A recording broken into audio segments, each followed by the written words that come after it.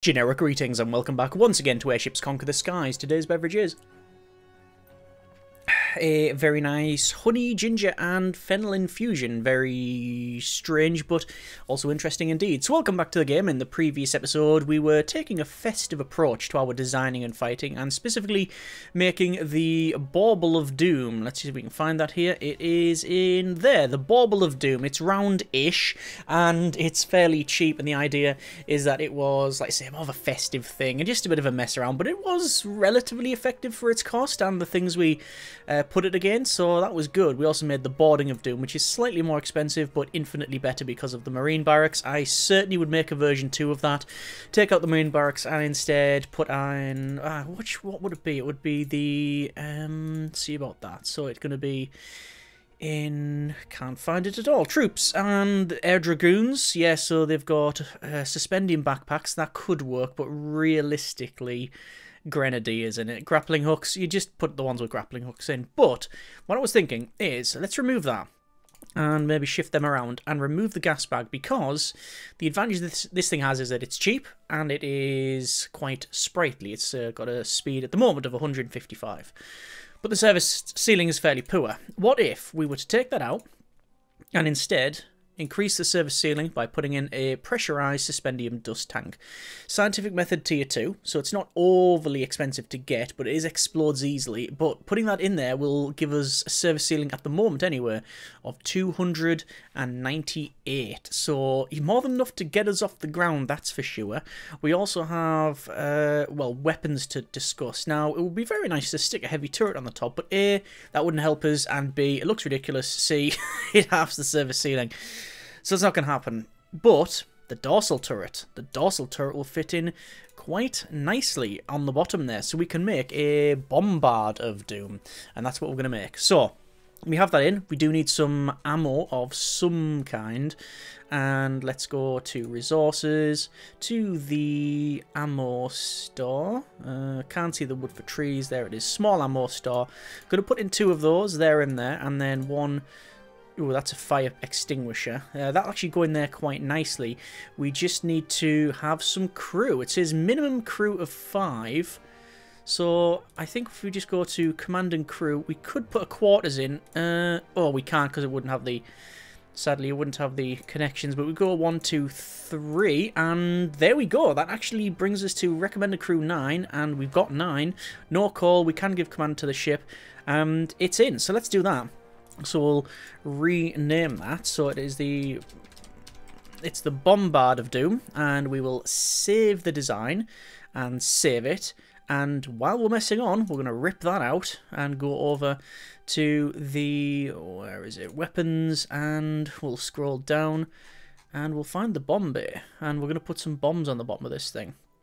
Lots of rockets, sponsons, flaks, aerial charges, but nice to have an aerial torpedo on it, but it wouldn't really do anything, would it? No.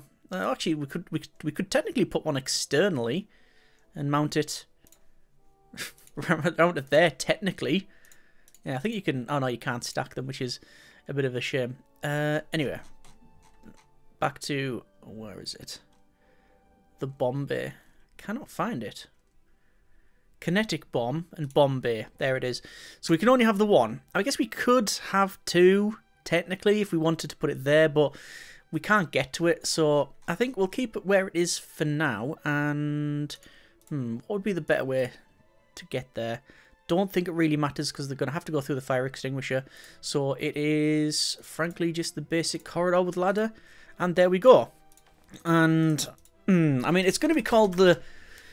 Uh, the Bomber of Doom. It's not really a bomber, and I don't think there's much Doom to be had. Yeah, okay. Uh, we'll think about painting them later if they are even remotely useful. So we'll leave that. And we've, I mean, it's it's it's really unfair to say that we've made two vessels. We've sort of repurposed another one. So let's go ahead and go to airship, and we're gonna have in the the Bombard of Doom. I'm going to place it there. So that is our service ceiling there. 375. Let's add in an airship and see what we can get close to that one. The Bat would go in. 100 and, was it 100 and... 100 and, oh, sorry, 375. I don't know I'm saying 100. A 375 versus 375. It's it's absolutely bang on. it's it's ideal. Right, well, we would want to go there, so start the fight. And um, let's move. So the question is, can it get higher up than us? And I think the answer to that is yes. Yes, it can. Um, I'm also going to run away there. I want to go up if I can. Just going to wait. And it's blown the thing off the bottom. so that is a that's an instant loss. Okay, that that didn't go that didn't go as uh, as well as I'd hoped. Airships.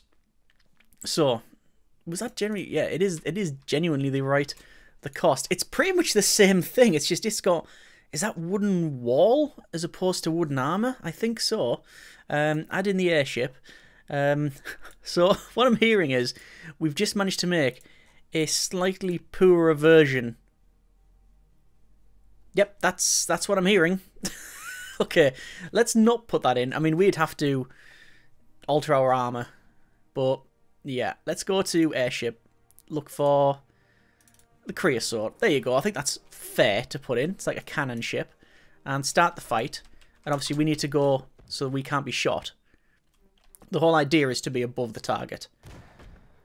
And this is very unfair, because not only is it trapped in between these two, we are just picking it off from up top here. Yeah. So, like the previous fight was a bit stacked towards the AI because they had basically the better ship, um, this was the other way around. So neither have really been very conclusive, have they?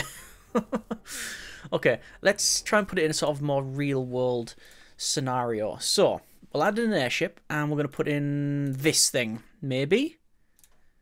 That thing's a fairly decent thing to fight, and it is quite expensive. Airship, let's just put in the bombards for a start. One, two, three, four, five, six, seven, eight would be overpointed. Let's be underpointed then. So we'll start the fight. I think shots fired from right to left are less accurate, so we have the advantage there. So let's just go there and unpause it, and obviously we're going to take a bit of a brunt from the initial the initial blast, but then the the bombards of doom are going to go right over the top, and they're going to cause a bit of damage. So obviously they've still got a decent uh, they've still got a decent arc of fire. Those things. I'm just waiting for it to do its inevitable spin round. There it is. So now we're going to move again. Make sure that we keep the enemy away from us. That's just a big explosion there, and I'm I'm thinking that's that's it done, right? What's it lost?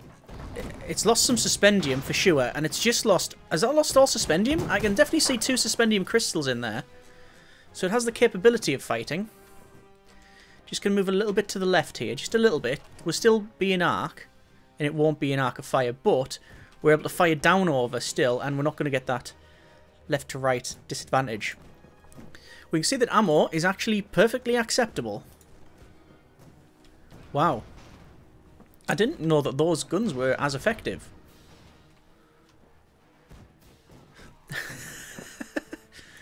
They look, um... Well, the way they move is sort of... It's very alien. And also, the recoil is pushing them up. Alright. Okay. That's curious. How is it go- Ooh, I was going to say, how is it going? Not well for those guys, I don't think. Nope, there it goes. And no target available, that's a win. Alright. So, that's... That's surprising. That's a bit surprising. Let's try something again then. That's a more of a balanced fight. So this is the Imperator 5. Three forward cannons, dorsal cannon, two flak cannons. So we can't just sit above it. Add airships, Bauble of Doom. No, hang on. It's the Bombard of Doom. One, two, three, four, five, six. 2,250 versus 2,286. As balanced as you're going to get. So realistically, it's better for me to back up Because we don't want to get hit by that flak. We're still getting clipped by a couple of the cannons.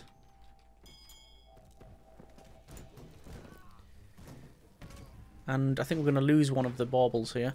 I think I've just manoeuvred wrongly there. Oh, this is going to be a problem. So the question is, what do I want to do? I need to go and get in arc. But if I go up, I'm going to get shot by the flak. So would is it best to fly over, or is it best to go down and around? The way this is getting picked apart, I'm feeling down first. And that's not what we wanted to see. Oh, yeah, okay. It's, uh... It's just parking in a decent position anyway. Hang on, there we go. Uh, can we even outmaneuver it now? I don't think so. I don't think so. Even if we were managing to go underneath and round, it can still fire it at us. So let's just, just stay in the fight. See if we can take them on.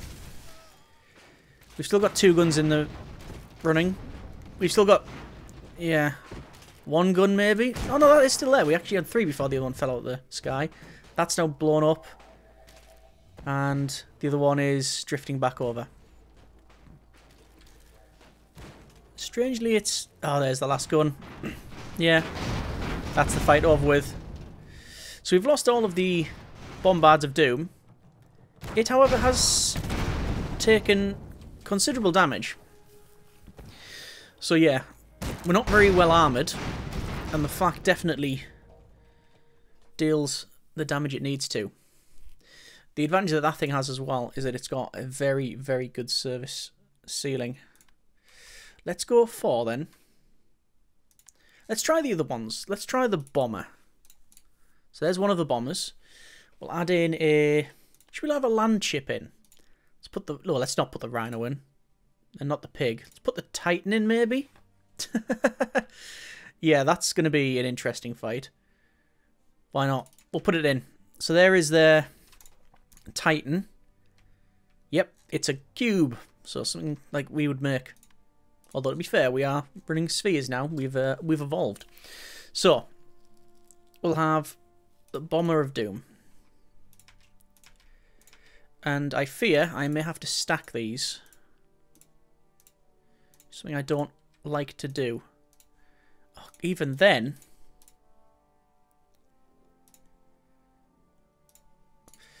So, we've got 3, 6, 9, 12, 15, 16, 18. That looks really impressive. It's going to look super impressive when they get absolutely annihilated out the sky as well. So let's do this. So I'll move them over. Obviously, there is the copious amounts of flak, and already three of them have fallen out the sky, although realistically it's only one of them that's uh, that's had the damage there. Speed of damage, here's the bombs coming in, and it is causing considerable damage to, well, the front section. And they've lost some tracks, and I've just realised one of the advantages that we have. These things love falling out of the sky and cause more damage by falling out of the sky than what we would have done if we just shot it. okay. That's a quirk of the the system. Let's just move these over. Uh, the problem is we're still going to lose. That's the worst part about it. That they've still got four flak. And there's nothing we can really do about that. Oh, hang on. They've lost some of their flak. If we, if they were to lose a couple more of the flak on that initial hit, we would win that.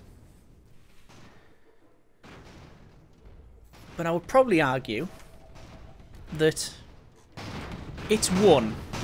But has anyone really won? Looking at the state of this? Yeah, interesting. Okay, I'm going to try that again. This time, though, we'll put the Titan back in. I'll also give myself one. And we're going to have Bombards of Dooms. Let's go for... Well, we'll have to weather the front. Let's just pepper downwards. So we'll add one, two, three, four, five, six, seven of those. Add airship. And we'll have the Bomber of Doom. One, two, three, four, five, six, seven, eight. 4,705 versus 4,722. And it's still probably best just to charge in, because if we stand here, we get shot off how many cannon? One, two, three, four, five, six, seven, eight. One, two, three, four, five, six, seven. right, okay. We can't take that many cannon. But then there's also this flak here. Basically, there's... So, we're damned if we do and we're damned if we don't. Ah, oh, also, we've got that in the way. Okay, I'll move them over then. It's coming towards us, strangely. We've clipped that top bit, which is a shame. Baubles are falling out the sky. Crunch! Right on top. right on top there of the um, of the bridge, essentially. So I think we're all in the fight now. Looks to be. They still haven't lost the flak that we need them to lose. And also, we're not going to be falling out the sky and having that sort of thing again because of this. This is actually protecting them from the debris. And I think all of the bombers are out. I think all of, genuinely, all of the bombers have stopped firing. While dropping bombs. Whereas this thing, not so much. I mean, how much damage would I cause by just ramming into the back of it?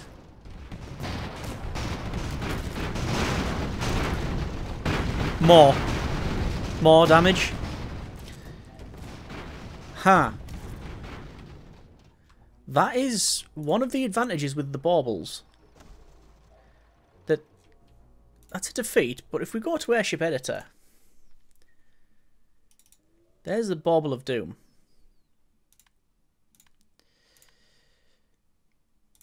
Vertical drag is reduced speed by 38%. Horizontal drag is 20%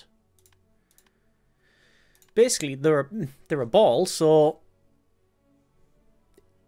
yeah. I would have thought it would have been almost identical. Apparently not. But yeah. It means that these things can move around, and whatever it says in terms of speed is not overly affected by the design of it. It means we can make a ramming vessel, and a cheap one at that. Remove that. Not keep that. Remove these sponsons. Do we even need to put a spike on it? would we even want to put a spike on it? And that would that would spoil the whole bauble approach. Um, weapons. Put a spike ram on the front? And technically would even sit there, but I would probably remove that and put it there. I actually like that. I quite like that. Okay. We're leaving it there for now. That's been with airships. We've got the Bombard of Doom and the Bomber of Doom. Both of which are not really of Doom. They're more of, of being destroyed. I think the Bombard is better, but this is limited testing against limited opponents, and it's very one-sided. In an actual fight, you would use mix and match of everything. I do think they have the place. They are basically a mini version of their larger counterparts. So, fun to build, fun to use, in terms of its effectiveness, I'm going to mark down mm, not yet confirmed. but I'm interested to make the ramming version because that could be quite good and may make changes to some of those. If you have any tips and suggestions for the builds you've just seen, if you have any ideas you would like to see made, then by all means put them in the comments there. As always, hope you have enjoyed this mess around on airships. Thanks very much for watching. Take care and generic partings.